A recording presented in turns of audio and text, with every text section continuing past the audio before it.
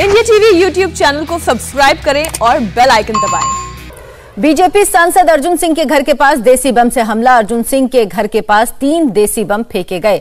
बंगाल के उपराज्यपाल जगदीप धनखड़ ने इस हमले के बाद चिंता जताई है। हमले के वक्त अर्जुन सिंह के घर पर कोई मौजूद नहीं था। अर्जुन सिंह बैरकपुर से बीजेपी के सांसद हैं।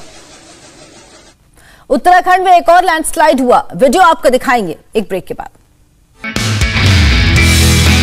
नमस्ते, मैं हूँ मीनाक्षी जोशी।